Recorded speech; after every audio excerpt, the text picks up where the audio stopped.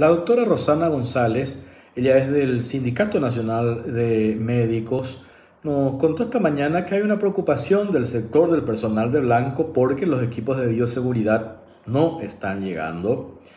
Hay aproximadamente 100 médicos que están en cuarentena a raíz de las dudas si estos profesionales médicos podrían o no tener la enfermedad, el COVID-19. La preocupación de los médicos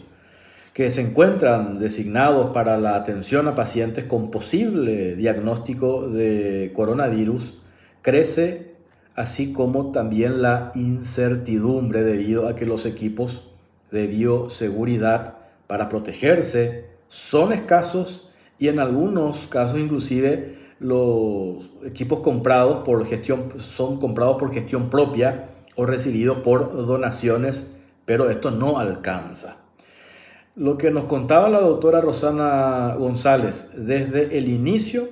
de esta pandemia estuvieron, entre comillas, aguantando, pero no se garantiza la atención a pacientes si no tienen la garantía de protección, que es un reclamo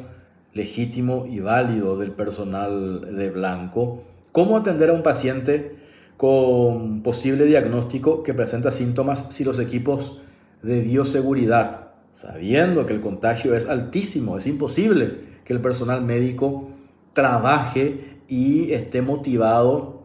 para atender a los pacientes, nos contaba hoy, o era el reclamo que hacía la representante del Sindicato Nacional de Médicos. Nos contaba también que colegas suyos, profesionales médicos, estuvieron en contacto con posibles casos,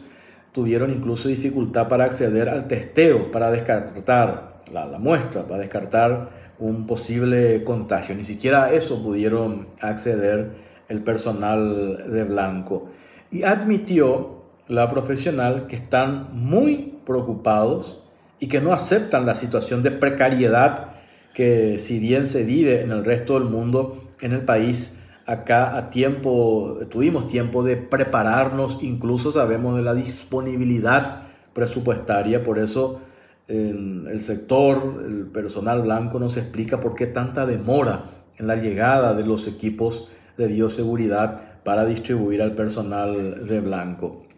Hasta ahora es cierto, no hemos llegado todavía al nivel de saturación de pacientes y ojalá se continúe con pocos pacientes como hasta ahora estamos este, porque evidentemente no están dadas las condiciones, no estamos preparados aún para hacer frente a esta, a esta pandemia. Lo positivo, digamos, dentro de todo este reclamo que hacen los médicos es que hay fecha y un anuncio de la llegada de estos equipos. El viernes llega el avión carguero de China. Ojalá que no tenga ningún inconveniente, como si tuvieron, por ejemplo, el fin de semana los respiradores en Brasil y ya a partir de la próxima semana se distribuyan estos equipos y se tenga la garantía para el personal de blanco, los que están allí en primera línea. Hoy 100 médicos no están trabajando, están fuera de la cobertura porque están en cuarentena ante el temor de que puedan tener el, el virus. Y lo otro, el reclamo que hacen también ¿Cómo es posible que ni siquiera para el personal médico